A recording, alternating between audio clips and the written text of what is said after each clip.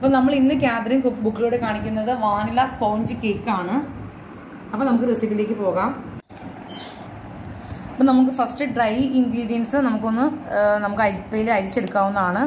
അപ്പോൾ ഞാൻ ഈ ബേക്കിംഗ് പൗഡർ ഈ ഒരു സ്പൂണിന് ഒരു ടീസ്പൂൺ ബേക്കിംഗ് പൗഡർ നമുക്ക് ഈ ഒരു സ്പൂണിന് വൺ ബൈ ഫോർ ടീസ്പൂൺ നമുക്ക് ബേക്കിംഗ് സോഡ ഇതിലേക്ക് ഇട്ട് കൊടുക്കാവുന്നതാണ്. നമ്മൾ നന്നായിട്ട് മൈദയും ബേക്കിംഗ് പൗഡറും ബേക്കിംഗ് സോഡയും അരിച്ചു വെച്ചിരിക്കുന്നതാണ് ഈ കേക്കിന് വേണ്ട വെറ്റ് ഇൻഗ്രീഡിയൻസ് ആണ് നമ്മൾ എടുക്കുന്നത്. ഫസ്റ്റ് ഞാൻ മൂന്ന് കോഴിമുട്ടയാണ് ഇതിലേക്ക് എടുക്കുന്നത്.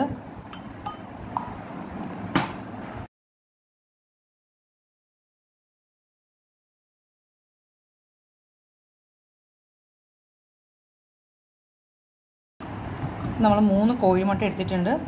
അപ്പോൾ നമ്മൾ ഫസ്റ്റ് എഗ്ഗ് ബീറ്റ് ചെയ്യുകയാണ് നമ്മൾ സ്ലോയിലാണ് ചെയ്യുന്നത്. പിന്നെ നമുക്ക് ഹൈ സ്പീഡിൽ ചെയ്യാവുന്ന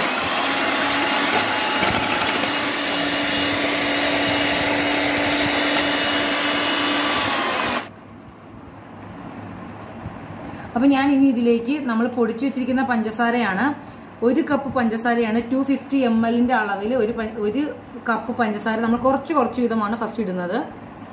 മൊത്തം കൂടി നമ്മൾ ഒന്നിച്ച് ഇടരുത്. കുറച്ച് കുറച്ച് ഇട്ട് ബീറ്റ് ചെയ്തെടുക്കാവുന്നതാണ്.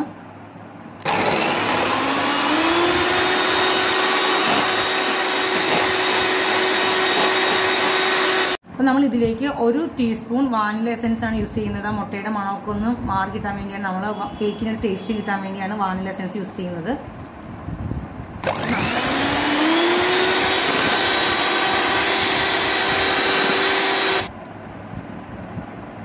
അപ്പം നമ്മൾ ഇത്രയും ബീറ്റ് ചെയ്ത് കഴിഞ്ഞിരിക്കുകയാണ്. ഇനി നമ്മൾ ഇതിലേക്ക് അര കപ്പ് പാലാണ് യൂസ് ചെയ്യുന്നത്. One twenty five M L പാലാണ്.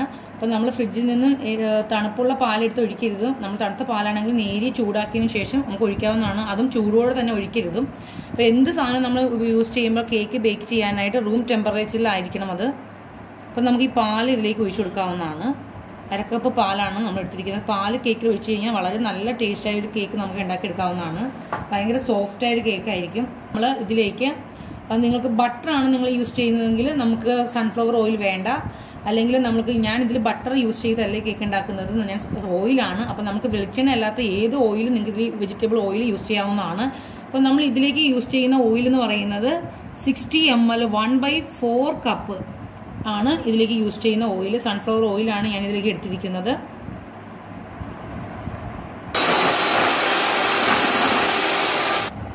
ഇനി നമ്മൾ നമ്മൾ നേരത്തെ അരിച്ചു വെച്ചിരിക്കുന്ന ആ മൈദ ഇങ്ങോട്ട് ഇടുകയാണ്. കുറച്ച് ഇൻഗ്രീഡിയൻസ് നമ്മളതിലേക്ക് ഇട്ട് കൊടുക്കുകയാണ്. നമുക്ക് നമുക്കൊരു സ്പാച്ചില ഉണ്ട് മിക്സ് ചെയ്തെടുക്കാവുന്നതാണ്. ഒരു സൈഡിലേക്ക് തന്നെ നമ്മളിങ്ങനെ ചെയ്തെടുക്കണം.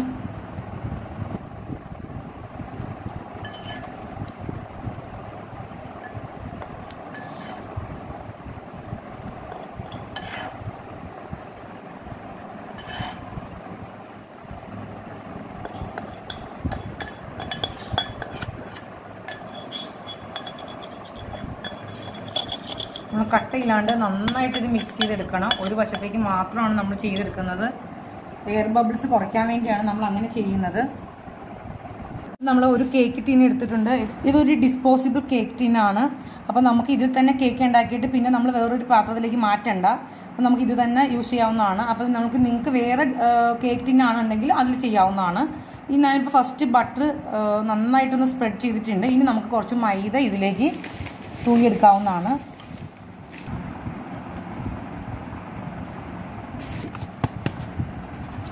ഇതുപോലെ ഇങ്ങനെ ഒന്ന് കൊട്ടിയെടുക്കാവുന്നതാണ്. അരികിലൊക്കെ കൊട്ടിയെടുക്കണം. നമ്മൾ ചെയ്തു വെച്ചിരിക്കുന്ന കേക്കിന്റെ മിശ്രിതം ഇതിലേക്ക് ഒഴിക്കുകയാണ്. ഒരിക്കലും നമ്മൾ കേക്ക് ഉണ്ടാക്കുമ്പോഴത്തേക്ക് ഒരുപാട് തിക്കി നിറച്ച് കേക്ക് ചെയ്യരുതും. കാര്യം കേക്ക് നമ്മൾ ബേക്കായി വരുമ്പോൾ കേക്ക് പൊങ്ങി വരും.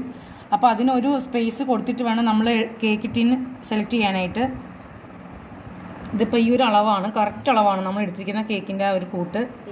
അപ്പം നമുക്കിത് നന്നായിട്ട് ടാപ്പ് ചെയ്യാം. കാര്യം ഇതിൽ എയർ ബബിൾസ് ഉണ്ട് അതൊന്ന് പോയി കിട്ടാൻ വേണ്ടിയാണ്. വൺ എയ്റ്റി ഡിഗ്രി സെൽഷ്യസിൽ ഫൈവ് മിനിറ്റ് പ്രീഹീറ്റ് ചെയ്ത ഓവനിലേക്കാണ് ഇത് ബേക്ക് ചെയ്യാൻ വെക്കുന്നത്. ഫിഫ്റ്റി മിനിറ്റ് ആണ് ഞാൻ ഇത് ബേക്ക് ചെയ്യാനായിട്ട് എടുക്കുന്ന ടൈം ഓരോ ആളുകളുടെയും ഓവൻ അനുസരിച്ച് ടൈം വ്യത്യാസം ഉണ്ടായിരിക്കും. ഇതിന് മിനിറ്റ് കൊണ്ടാണ് കേക്ക് ബേക്ക് ആവുന്നത്. ഇതിപ്പോൾ വൺ എയ്റ്റി ഡിഗ്രിയിൽ ഫൈവ് മിനിറ്റ് പ്രീഹീറ്റ് ആയ ഓവനാണിത് നമുക്കിത് ഫിഫ്റ്റി മിനിറ്റ് കൺവെൻഷനിൽ സെറ്റ് ചെയ്യാവുന്നതാണ്.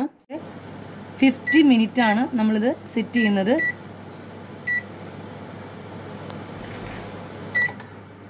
അപ്പോൾ നിങ്ങൾക്ക് ഈ വീഡിയോ ഇഷ്ടപ്പെടുകയാണെങ്കിൽ നിങ്ങൾ ലൈക്ക് ചെയ്യുക ഷെയർ ചെയ്യുക സബ്സ്ക്രൈബ് ചെയ്യാൻ മറക്കരുത്. അതോടൊപ്പം തന്നെ ബെല്ലൈക്കൻ വരുമ്പോൾ ഓൾ ഓപ്ഷൻ ക്ലിക്ക് ചെയ്താൽ ഞാൻ തുടർച്ച ചെയ്യുന്ന വീഡിയോ നിങ്ങൾക്ക് ലഭിക്കുന്നതാണ്. അപ്പോൾ നമ്മൾ കേക്ക് ടിന്നിൽ നിന്ന് മാറ്റിയിട്ടുണ്ട്.